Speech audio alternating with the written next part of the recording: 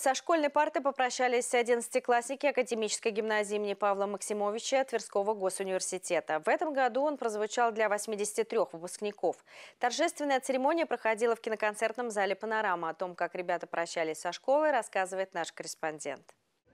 Увлекательный путь в 11 лет для выпускников закончился. Ребятам еще сложно поверить, что больше не будет уроков, долгожданных перемен и домашних заданий. У выпускницы губернаторского класса Яны амбициозные планы – поступить в Москву на юридический факультет. По словам девушки, учеба в гимназии помогла определиться с тем, кем она хочет стать в будущем. Мне очень грустно, особенно расставаться с преподавателями и своими друзьями но при этом я безумно благодарна всем. Я нашла свое направление, выбрала право и благодарна преподавателю, который вкладывал в меня э, много времени и знаний.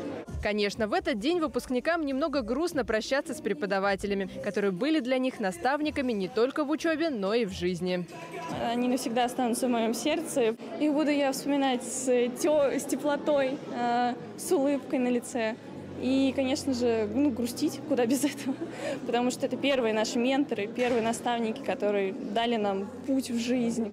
В этот день рядом с выпускниками родители и преподаватели, которые вложили много сил, чтобы гимназисты могли покорить любые вершины. Преподавательский состав академической гимназии ТВГУ славится высоким профессионализмом. В этом убедились родители выпускников, которые без сомнений отправили учиться сюда своих детей. Выбор пал на академическую гимназию ТГУ в связи с тем, что очень много слышала хорошего, читала, изучала этот вопрос, потому что образование на, на, на сегодняшний день образование очень важно. В качестве директора гимназии на торжественном мероприятии присутствовал временно исполняющий обязанности ректора ТВГУ Сергей Смирнов. У нас каждый выпуск замечательный, этот выпуск не исключение, и мы уверены, что будет общее одно – это успешное завершение обучения и успешный старт во взрослую жизнь. На это надеюсь и в этом уверен.